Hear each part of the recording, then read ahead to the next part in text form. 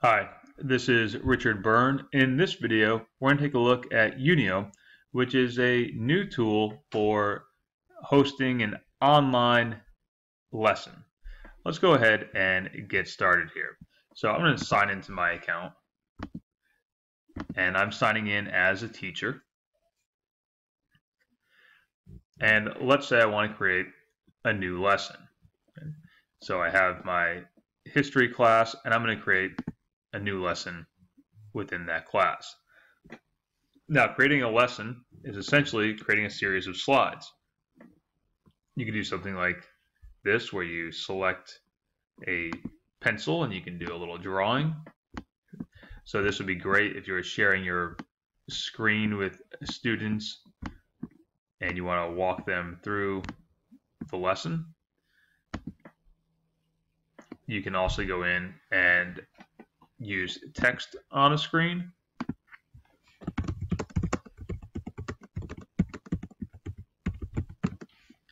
And as you can see, you can change your font size and style. Let's add another screen. And here we can upload documents and images and videos from YouTube. You can also create an activity in the form of a little quiz. The quiz title here will be Tour de France.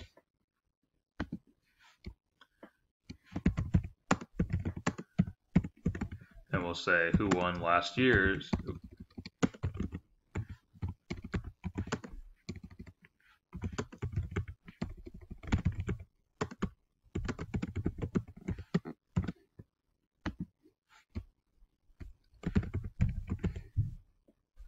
will indicate the correct response, and we'll add another option here.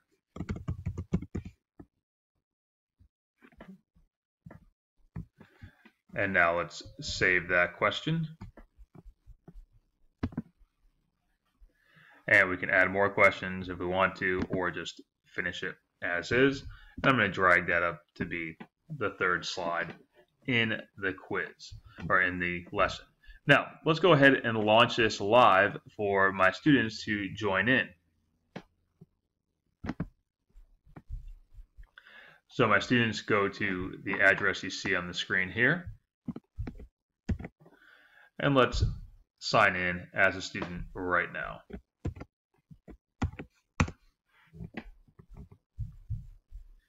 And so a student comes along, let's say it's Mason, and he's going to enter the ID number that we see on the screen, 4034.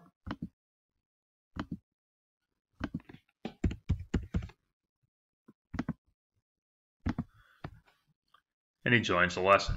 And now he sees my slides here on the screen.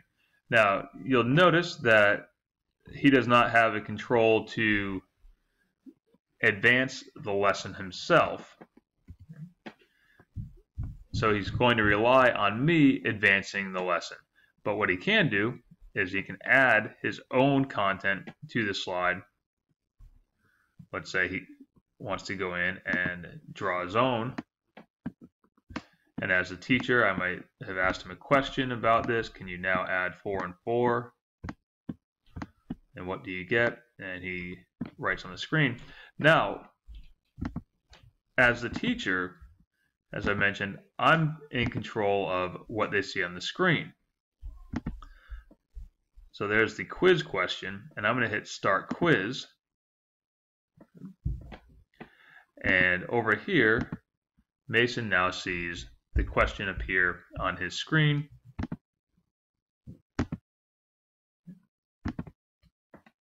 And he submits it. Now he can't move on to the next slide or the next portion of the lesson until I advance on my side.